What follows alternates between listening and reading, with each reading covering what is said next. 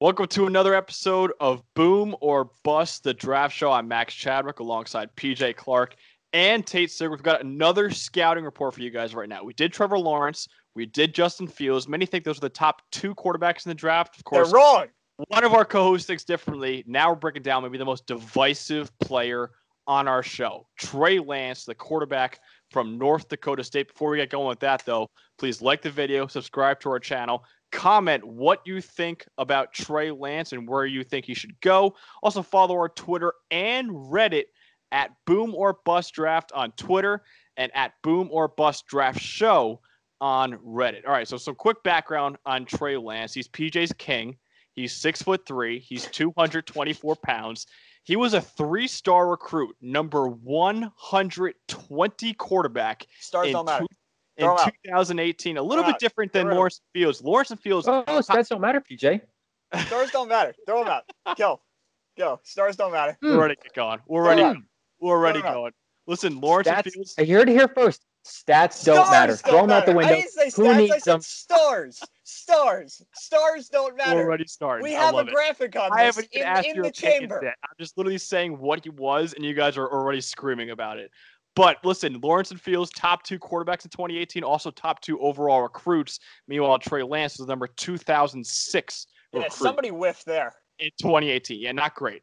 So also though, he also didn't even start playing quarterback until ninth grade, and he also didn't have any FBS offers to play quarterback other than Boise State and Western Michigan. Decided to go to FCS powerhouse in North Dakota State.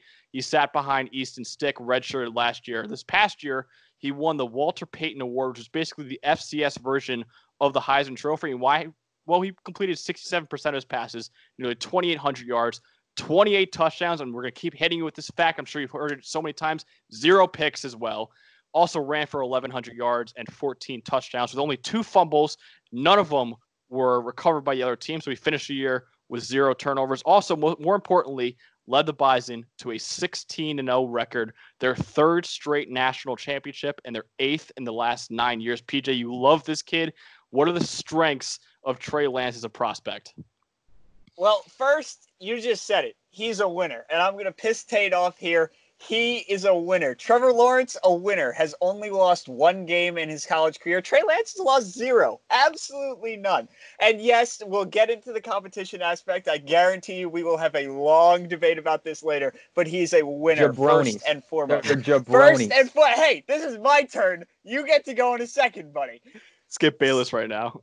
Second, this is my time. Second, this guy throws the best deep ball in the class. That's that's just it. I his deep accuracy, he does the Russell Wilson thing. He's got the arc perfected. Gets a lot of air under the deep ball. That's my favorite thing about him is the, his his deep accuracy and the ability to make those deep throws, which matters. Another thing you mentioned it, no turnovers, no interceptions. This guy is so smart he doesn't take risks. It's not that he's risk averse. He doesn't always check down. He knows where his guys are and he makes smart throws. He goes through his reads. He's pretty quick, but he doesn't always have to because his wide receivers are pretty good. You mentioned it. NDSU is a powerhouse. They have the best players in FCS and those guys get open. So he doesn't always have to go to his second read, but he's very smart when he does. He doesn't force anything. And then last, you mentioned it, absolute tank with the ball in his hands. 1,100 rushing yards, 14 touchdowns. This guy will run through you, run over you, jump over you, spin you out of your shoes. He is dynamic with the ball in his hands. And perhaps last, it, it's something that maybe Trevor Lawrence we don't see as much. A lot of 11 personnel at North Dakota State. They run the ball a lot. He's comfortable under center, which I think matters when you're converting somebody into an NFL quarterback. Is that what we're looking for? We're looking for a running back now at quarterback. I'm sorry, we're looking for Cam Newton to run through us. How did that turn out, PJ? Career over at 28. Come on. I mean, I mean, Come he on. won an MVP in 15 games, so like, Okay. like, it kind of works. there. Um, I'll take Cam Newton. Tate, what do you like? I'm sure there's, there's not much the way you've been bad mouthing him almost every episode, though. Uh, I, I mean, there's some. You know, he's he's a good quarterback. Um, there's no doubt about it. He's certainly, uh, you know, QB three. We'll get into that later, I guess, where he stands with the class. Um, like PJ mentioned, he's got crazy arm strength. Uh, I don't know if he's the best deep ball in the class. He's certainly probably top five, top three. I, I don't know. I haven't stacked him up against Brock Purdy and Kellen Mond yet. Um, we don't need to stack him up against Kellen Mond. But we don't need to do that. Um, yeah, he's got uh, crazy arm strength, uh, decision making 28 and 0, like uh, PJ and Max mentioned. I won't harper on that too much. Um, they do love to run the ball over there in North Dakota. Um, how if that's a pro or a con, I'm not exactly sure. I have something for that. I'll, I'll get to that. I do have something. You know, uh, it's another tool in the bag, I guess, if you need it. But um, he's no Lamar Jackson in terms of running. You know, and uh, if we're looking for guys who, you well, know, running to help, can throw the ball. Well, sure, yes. And so I don't really want him to Come run on. in the NFL. So I would like him to stop doing that in college. But that's just the system he works in. Um, and he's got pretty good pocket presence, even though he is playing against you know wet noodles of a defense. Um,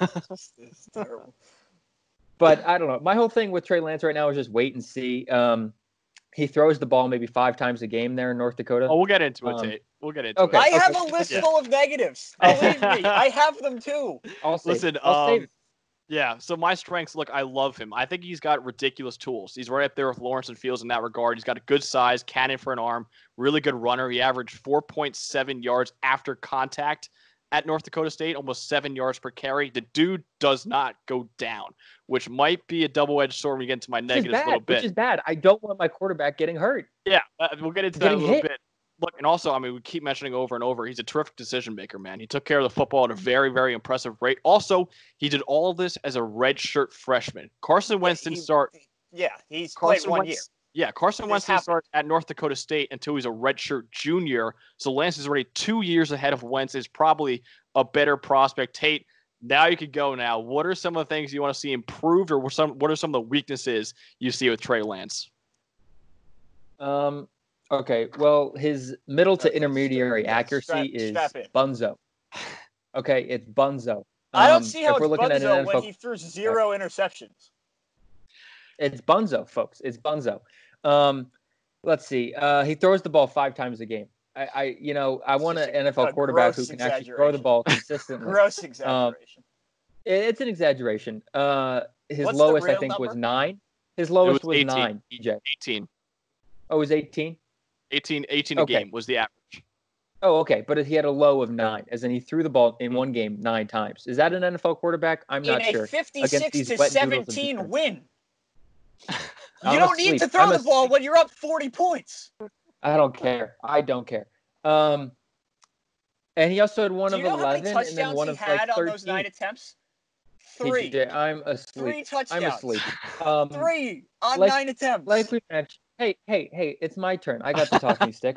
Um, so we, we, mentioned Carson Wentz, the other North Dakota State quarterback, who um, I'm pretty sure we've all heard of Carson Wentz. Yes, no, shake your head, yes. Yeah, no. you hate him, but um, whatever.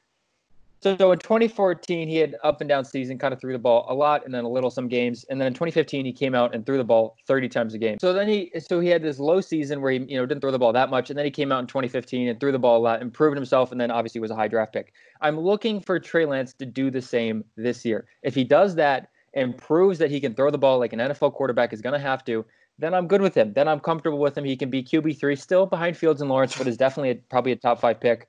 Um, for those curious, he had six games this year with 15 or less pass attempts. I mean, that's bad, folks. That is not NFL quarterback standard. Okay, um, I agree. And then also, I agree with that. I mentioned, I mentioned these D2 jabronis that he's playing against. Okay, he's got wet noodles D2. against him. Defense. One you look at some of these receivers, they're open by 45 yards. Even Max with his 20 yard throw could hit him. Okay, that's how bad it is, folks. He, they're playing against. That was worthwhile. Okay, we were talking about Justin Fields and Trevor Lawrence playing in actual divisions, actual conferences against actual defenses. I mean, this is Trey Lance and FCS football. Okay, let's let's say let's come on, wet noodles. Um, and then finally, I'm gonna I'm gonna dock points here, but it, North Dakota State is to the D2 world what Golden State is to the NBA. I mean, we're talking he's playing Paul the Pierce, worst team in the league. Net. We're talking pre-processed Sixers, and we're talking about the New York Knicks as his opponents. Okay, I mean these guys they're playing are bad, folks. They're bad. Okay. Um, oh. RJ would never. I love I'm Tate. RJ would never. RJ would never. This is coming from a Browns fan, by the way. This is coming from a Browns. Fan. Oh yes. Oh yes. I said okay. It. So you know what bad football looks like. I love I love the I fact do. that Tate I'm, I'm writes like a novel. He wrote a novel for Fields' strengths and Lance weaknesses, and yeah, when it comes to Fields, he just doesn't care. Fields' weaknesses and Lance strengths is like a quick like, oh he's yeah. like I he's got this. like three sentences. Okay, so so here's what I have because I'm the one who actually cares about this. Tate, I'm gonna I'm gonna have a little argument. I agree with most of what you said. For, first, the literal first con that I have is he doesn't always need to go through his reads because his team is too damn good. They get open. Yeah. The the play calling is really really good. Play calling is another weakness to me. Not that this is his fault at all. He only throws the ball because he doesn't have to. He's not calling the plays, and he he runs the ball because that's what they give him. He's not, you know, a, a Syracuse guy. Eric Eric Dungey was a tuck and run if his first read was not there. That is not Trey Lance. He does not immediately turtle and take the ball for whatever he wants. He goes through his reads and then yeah, scramble. But half of these are designed runs, and that's not his fault. I understand why you you might hold it against him, but he it, that's not up to him, right? We in agreement on that? I mean, sure. I'm just talking. We need if we're talking investment piece for my NFL franchise. I want a guy who I know can I throw the ball like an NFL but if quarterback. you're North Dakota State, why would you why would you fix what clearly okay, but I have broken? if I have this question on if he can do this, then I don't care if it's North Dakota State's fault or Trey Lance's fault. I have this question against him. So then you have to make the educated guess based on all of the deep throws he's made. And that this is another thing. So you want to play the competition. Yeah, he's playing against guys he's better than, right? I will 100%, and his team is better than everybody that they're playing against. I completely agree with that, and I understand that. But you have to keep in mind, his wide receivers are not Big Ten, ACC, Clemson wide receiver you.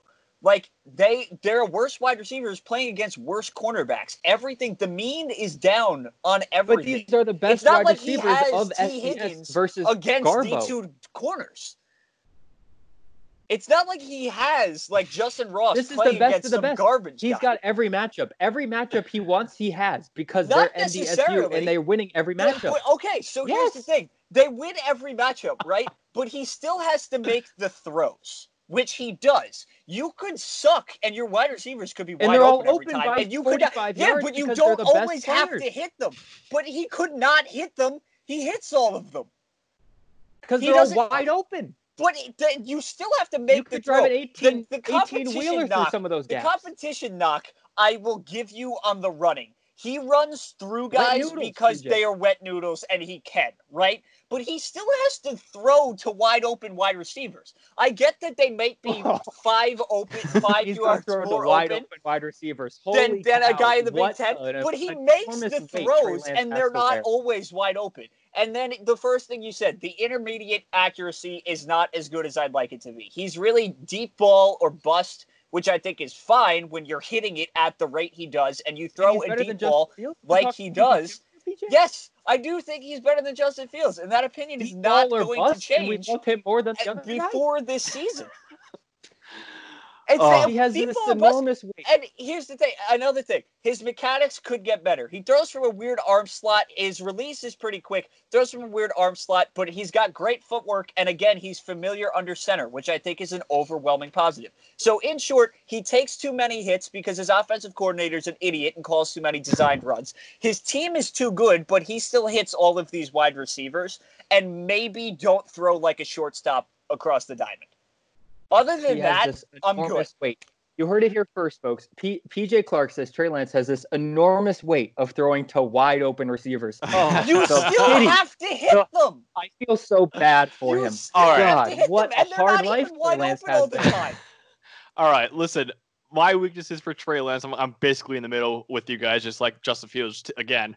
Um, I think he's a lot more raw than Lawrence and Fields are as passers, despite having similar tools. I think they all have really, really good tools, kind of even tools, but I think he's more raw than they are. Which is entirely fair. We literally have a 16 game sample size. And I acknowledge that, and I should have had that written down too. I Right. get it. But if we get this year, which isn't a given, but if we do, he could get better, he could get worse, he could be just as good. But Yeah. wi- in, in what we have now, which isn't a lot, he's pretty damn good. Yeah, look, I mean, look, if, and Yeah. also I have if his receiver wasn't wide open, he wasn't throwing it. He took off and ran on 10% of his dropbacks. That works in college and it worked out amazingly for North Dakota State. That will not fly in the NFL. And I mean, we keep going back to it. He was very protected by North Dakota State as a passer. He never really had to win with his arm. He only attempted 18 passes a game. The average in the NFL is 35, almost double But that. that's a that's a virtue of play calling. He doesn't also, call the but I- plays. But I just mentioned he ran on 10% of his dropbacks. If the receiver was not there, he was running. He wasn't really taking any chances with the Not football. number because PJ. he can run he can run further than but I a five yard see- out. I want to see him. I want to see him complete more passes where the defender is I'm maybe sorry, my quarterback cares about winning games and getting first downs Right, more than a it works. completion It percentage. works at the FCS level. It's not and to. throwing to wide open receivers. I want to see him. I want Oh see yes, because the other than wide ACC defenses are exactly what Trevor Lawrence you needs see, to go. you see. Lawrence and Fields make more NFL type throws than Trey Lance. You have to I, that. I I make I see Justin Fields because he's playing against by far the best defenses of the three. Yeah, and okay, listen. Let me just finish up. Lawrence attempted 27 passes a game. Fields attempted 25. Lance 18. I want to see the playbook open up a little bit more for him. So that's more on the coaches than him.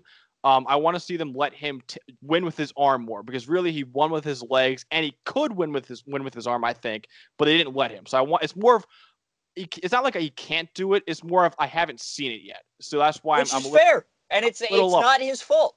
And the last thing is really in all the games I watched, he never slid. And I kind of like that as a quarterback, but also when I'm investing a franchise in him, ginormous. He's a He ginormous human being. because he they takes a can't lot tackle. hits. He's he a takes a lot Good being. lord. Lawrence and Lawrence and Fields. He slide- takes a lot of hits because they run him into the ground. Listen, Lawrence These and wet Fields noodles slide. can't tackle. Lawrence and Fields slide. Lance, I've never seen slide yet. Um, PJ, now finish it out. What's the bottom line on Trey Lance? Where does he rank for you? Where would you take him? What What do you think about Trey Lance? The bottom line right now, I think he's the probably the fourth best player in this draft behind Lawrence Sewell and Ja'Marr Chase. I would take him in the top 10. I'm completely fine. I understand the small sample size. I get it. He's firmly QB2 until proven otherwise. In the direction of more sample size on him, maybe he gets a little worse.